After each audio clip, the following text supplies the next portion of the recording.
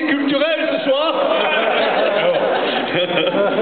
Moi, je vais vous dire que je suis particulièrement honoré. Je ne sais pas si vous avez entendu, mais Laurette Onkelings veut châtrer tous les chats. Non, Elle veut les stériliser. c'est pas vrai. Alors, venir aujourd'hui de la couille des Suisses, venir tout simplement avec des testicules helvétiques, rendre hommage au chat, c'est un engagement extraordinaire. Mon cher Guy, je t'en remercie. Un bisou, hein. Allez, un bisou.